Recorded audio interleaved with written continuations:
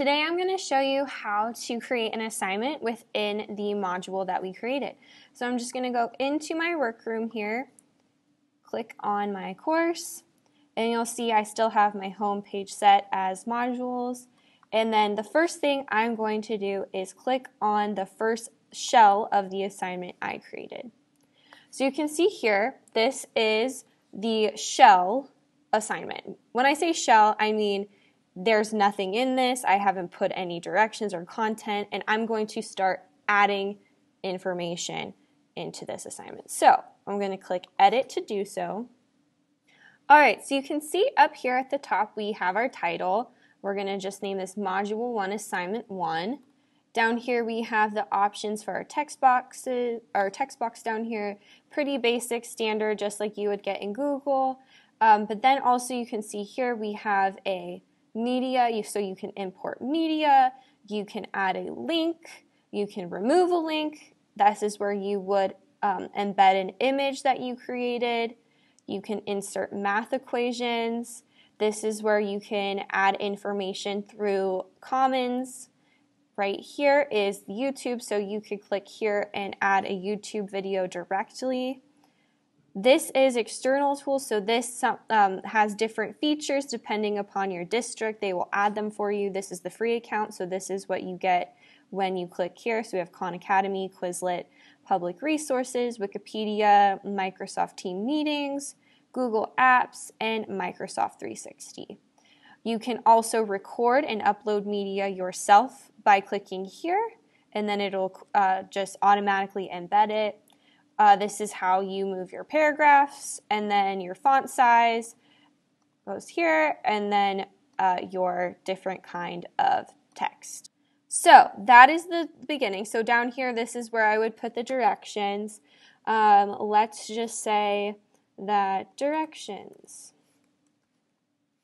And then open the document that is attached below make sure you complete the document before you return to your Canvas assignment to submit. All right, let's just leave it at that for now. Pretty simple.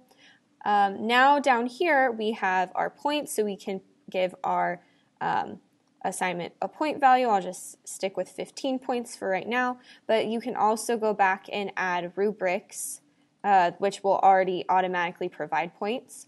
We have assignment group. As you can see here, I've added formative and summative.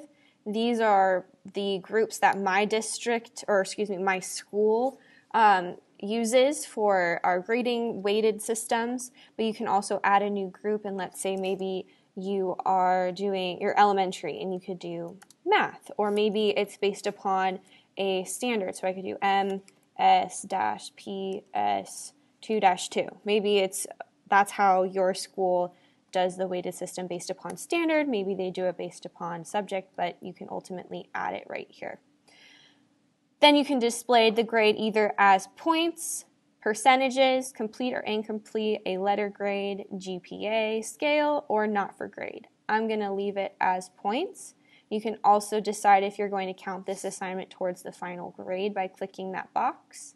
And then we are getting down to the submission type. This is where you can add your Google Drive or really your everything you had in Google Classroom into Canvas. So we can go to external tools and then click find. And you'll see here in this box, we can open up, it's being a little stubborn this morning. There we go. We can open up our Google Drive. And then our Google Drive will load right here. Awesome. So now I'm just going to find an assignment. So I'm going to find Module 1, Lesson 1, and we'll just do this one for right now. All right, so now this is added to this assignment. And I'm not going to click load this tool in a new tab. I'm just going to leave it as is. I'm going to provide it with unlimited attempts. And then let's just for funsies give it a due date. We're going to make it at the end of the week. It's for everyone. And so you can see, of course, section. I don't have any students in here, but you will see that you can act, there will be a list of students eventually um, once your district adds them to your course. So you can actually click just individual students. That's really helpful when it comes to uh, differentiating um, work or even let's say you're a special education teacher and you want to assign just this assignment to one student, that's also really helpful. And then you can make it available. Let's say we made it we made it available today until the 14th. That's one way to do it. You don't have to add these, but you can. All right, and we're going to click save.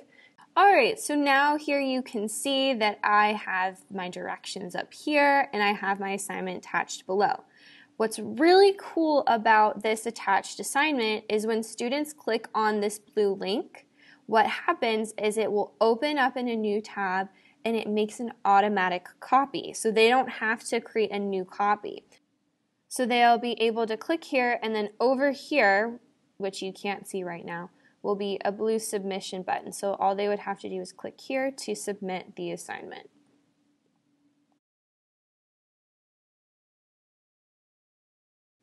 All right, so I'm back in the assignment. I've deleted the information in the text box because I'm going to show you another way you can create an assignment. The directions that I made are actually, I made them within a Google Doc and saved it as a image. So all I can have to do is go to images here. You can see that in Canvas, um, I have my course files and I'm going to click on one and then go to upload file and then find one within recent. Here, here's my little directions. It has been uploaded and then we're going to click update and now I have my interactive notebook directions here. So now if I want them to have a version where they can view it, so if they make a mistake, they can go back. I can go to external tools, Google Apps, and then find, I'm going to do module 1, lesson 1, interactive notebook interactive notebook and embed it so that the students can see it like so. So here we have my Google slide. They can see reference in case they make a mistake. I've awarded it a point value still. I'm just going to keep it the same. And we're going to click Save. So now you can see here, I have the assignment for them to view. And then, oops, I forgot to change it. So I'm going to go change it real quick by clicking Find, open up my Google Drive, M1, L1, interactive notebook, submit, click save. And now you can see here is the version that they can view. Here is the version that they can edit, and it'll load in just a second. So they can open this up and complete it and then submit over here. And that's another way you can do the assignment. All right, so I'm back in edit mode. So what I'm going to do is I'm just going to delete this embedded Google slide that I have. And I'm also going to change from external tool now and we're going to do a online submission just to see. With online, there's a you can require the students to do fill in a text entry box. You can require them to turn in a website URL. Maybe they are creating um, a website and through um, like Google Sites, you can have the students share their URL this way. You can also have the students upload media recording where you view them. I've heard examples from teachers who um, need to hear, like in, at the elementary level, their students read. This is a good way to maybe incorporate that into a lesson where they have to record themselves reading. And then also they can do a file upload. And you can restrict that file upload to a doc or a any kind like a, a JPEG, whatever you have right there. So those are your options. So I'm going to select for right now just the text entry box so we can view what that looks like.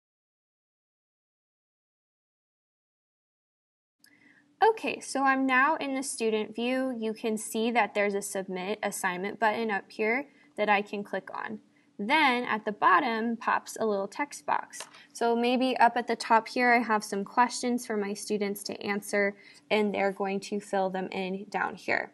Now the students also have the option to upload media or record themselves and post media here or maybe they can even upload from their Google Drive as well. So you could do multiple things with this text box. That's really cool. And then all they have to do is click submit assignment. But saying you it requires a field. So I'm just going to write hi there with a smiley face and submit. And then it says your assignment successfully submitted. And you can see over in this corner, it'll tell the student when it, if it was submitted and what date and if they ever want to go back and view it, all they have to do is click submission details and it will show their work here. Also, if they want, they can resubmit the assignment. So they can look at the teacher's comments over here. Maybe they didn't like the grade they received, and they can then go back up here, resubmit the assignment, and try um, the assignment over again.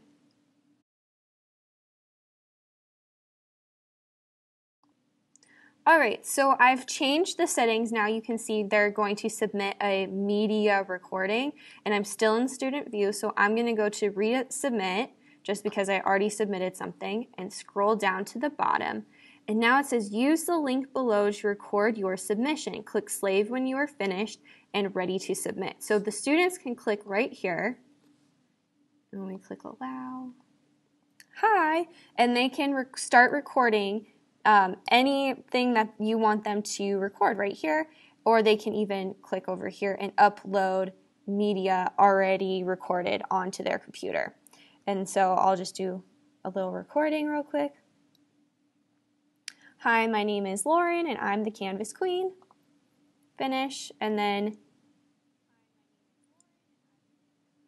and then they can either do start over or save. So we'll save it if it will let us. Yep, and now I have my media right there. I can add any comments about my media and submit the assignment like so.